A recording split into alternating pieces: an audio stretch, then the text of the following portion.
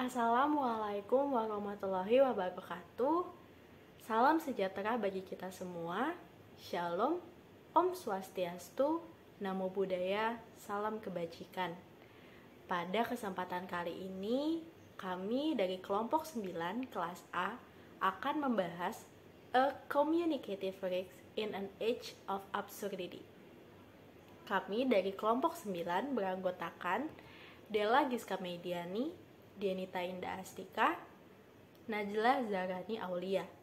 Semoga dengan adanya pembahasan ini dapat membantu teman-teman semua dalam memahami bab ini. Sebelum masuk ke dalam inti pembahasannya, saya akan menyampaikan pokok bahasannya terlebih dahulu. Albert Camus merupakan seorang filsuf berkebangsaan Prancis yang lahir dan besar di Aljazair. Kamus terkenal akan karya-karyanya yang cukup berpengaruh di berbagai belahan dunia, termasuk Indonesia. Salah satu pemikirannya yang terkenal adalah absurditas. Pemikiran ini juga ia tuangkan dalam karya-karyanya, salah satunya adalah The Fall yang akan kami bahas pada kesempatan kali ini. Absurd yang dimaksud oleh kamus, the absurd, he writes, is born of this confrontation between the human need and the unreasonable silence of the world. Maksudnya apa nih?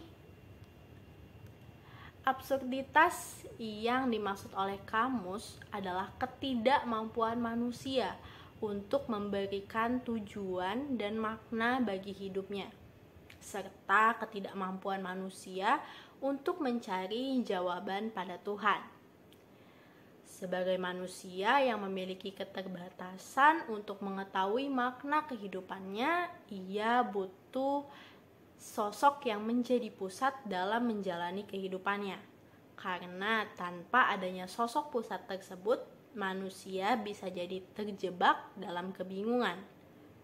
Bingung akan apa tujuan dia hidup di dunia ini.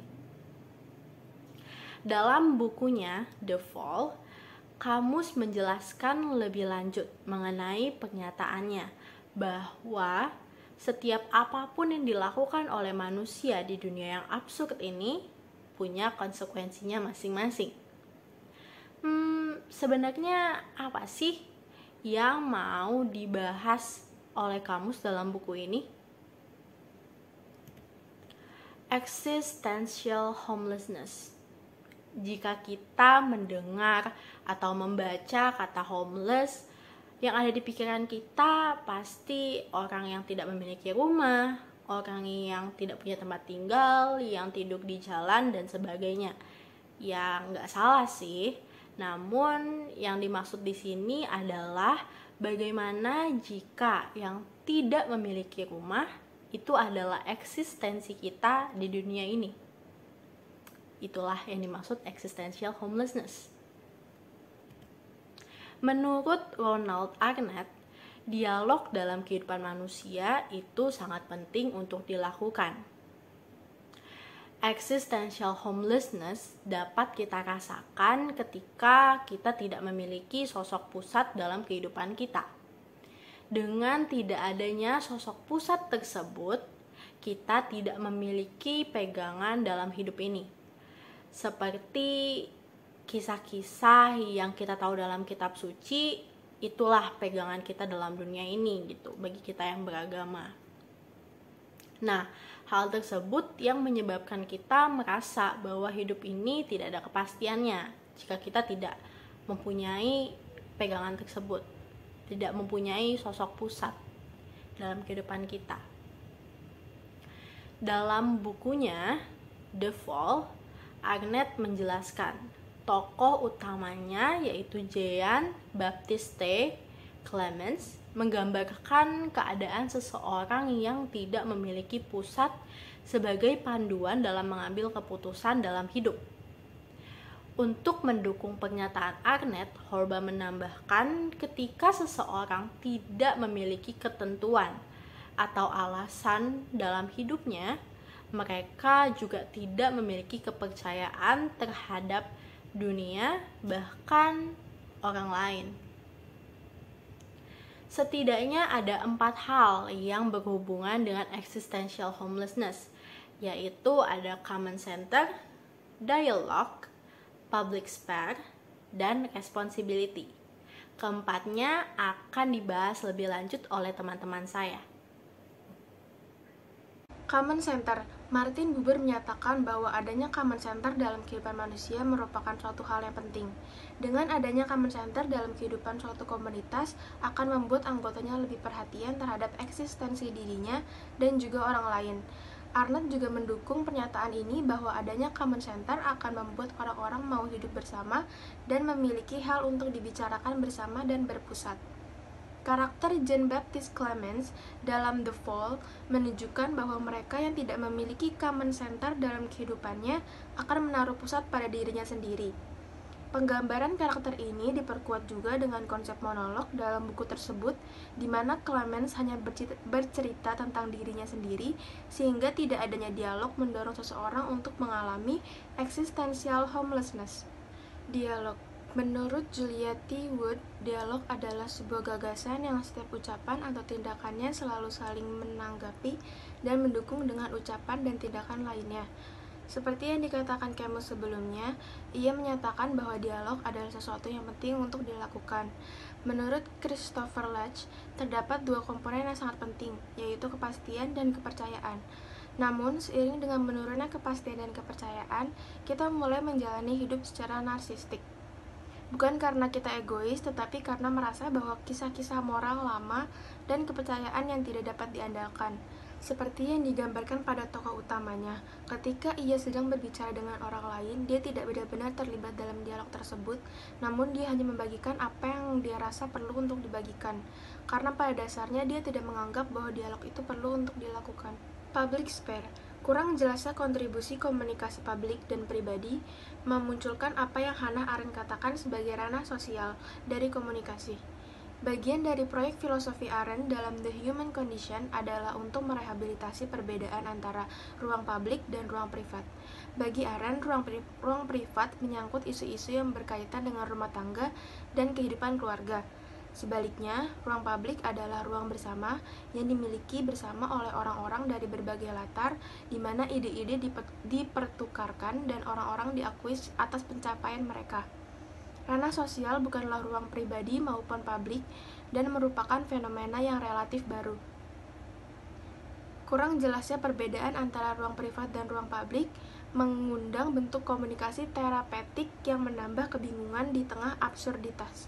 Oleh karena itu, faktor ini juga berkontribusi dalam existential homelessness yang menambah kesulitan dalam mencari home baik di ruang publik maupun di ruang privat.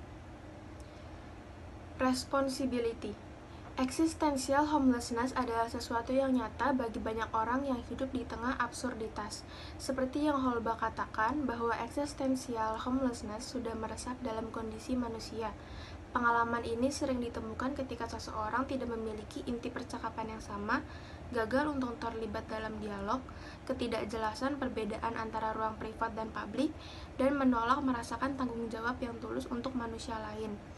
Novel Albert Camus, The Fall, memberikan kisah fiksi tentang existential homelessness dan menyajikan gambaran yang jelas tentang seperti apa zaman keabsurditasan. Conclusion Suatu pengaruh buruk dapat terjadi ketika seseorang melebihi batas maksimalnya untuk bergantung di era modern terhadap individualisme dan tidak lagi mampu mempertahankan filsafat hidup di tengah-tengah absurditas. Hal ini membuat seseorang mencari makna kehidupannya dan sering kali merasa homelessness. Homelessness di sini bukan berarti bahwa bukan berarti seorang tunamis, tunawisma, melainkan homelessness di sini berarti ketika seseorang merasa sendiri di dunia ini karena tidak mengerti apa tujuan hidupnya. Dan manusia merasa bahwa ia tidak memiliki tujuan itulah membuat dia merasa tidak memiliki rumah atau tunawisma tadi. Salah satu pepatah yang menarik di dalam buku Albert Camus ini adalah pepatah yang mengatakan bahwa damn if you do, damn if you don't. Yang artinya bahwa terkutuk jika kamu melakukannya, tetapi lebih terkutuk lagi ketika kamu tidak melakukan hal tersebut. Maksudnya bahwa Albert Camus di sini meminta kita, manusia, secara tidak langsung untuk uh, menghadapi segala sesuatu sesuatu yang sulit atau situasi sulit dengan tidak menyerah atau putus asa dan menghadapi situasi tersebut dengan berusaha memberontak dan melawan. Itu artinya Albert Camus meminta kita untuk tidak diam saja dalam situasi sulit apa pun.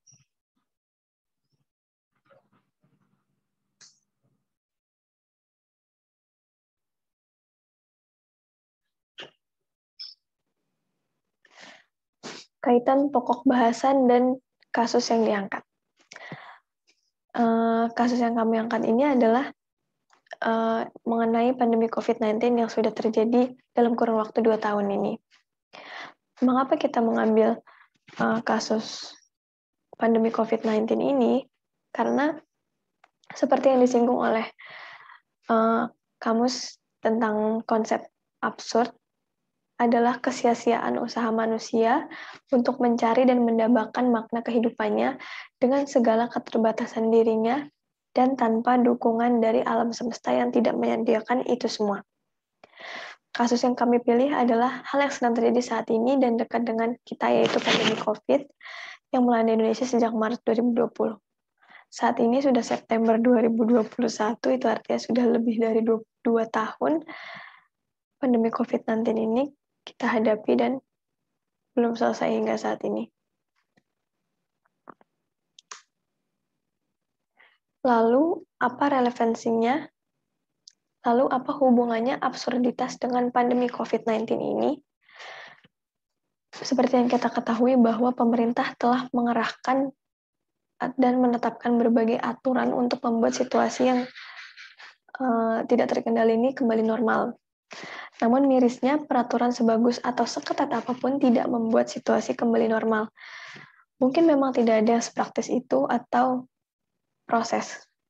Tetapi jika kita amati keadaan ini secara terus-menerus, atau jika kita melihat ke belakang bahwa kasus ini menurun, kemudian melonjak lagi, dan begitu seterusnya. Bahkan muncul lagi varian-varian baru yang lebih ganas, mereda, dan mengganas lagi. Seperti yang kita ketahui bahwa pandemi COVID-19 ini sempat menurun. Lalu tiba-tiba datang gelombang kedua yang membawa virus baru yang seakan-akan lebih ganas dan lebih cepat menyebar. Seakan-akan keadaan yang kita alami saat ini sama seperti yang Sisyphus lalui, yaitu tidak berkesudahan. Semuanya terasa absurd. Absurditas memang tidak dapat kita elak keberadaannya karena berada di sekitar kita dan mengikat kehidupan kita kehidupan ini memang penuh dengan segala keabsurdan dan kamu melihat ini sebagai sesuatu yang menjadi bahan pemberontakan.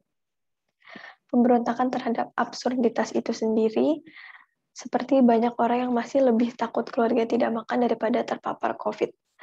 Jadi, pemberontakan di sini adalah dengan melawan aturan yang telah ditetapkan pemerintah demi keluarganya.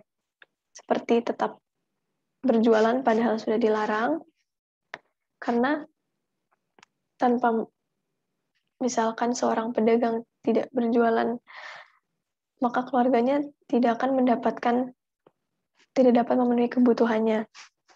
Oleh karena itu, itulah yang disebut, itulah yang dimaksudkan pemberontakan ini. Dunia memanglah absurd, namun kita merupakan makhluk sempurna yang memiliki akal budi dan hati nurani. Dengan adanya pandemi COVID-19 ini, kita dapat melihat bahwa manusia saling tolong-menolong, bukan lagi karena ajaran agama, tetapi memang karena keadaan yang mengharuskan, dan adanya rasa kemanusiaan yang ada dalam diri manusia itu sendiri. Jadi, dalam keadaan pandemi COVID-19 ini, menghadapkan kita pada dua pilihan, yaitu mementingkan kepentingan sendiri atau kepentingan bersama kepentingan bersama di sini adalah dengan memikirkan kehidupan banyak orang dengan peduli dengan mematuhi protokol kesehatan dan mematuhi eh, uh, PPKM. Ya, sekian dari kelompok kami, kurang lebihnya mohon maaf. Wassalamualaikum warahmatullahi wabarakatuh.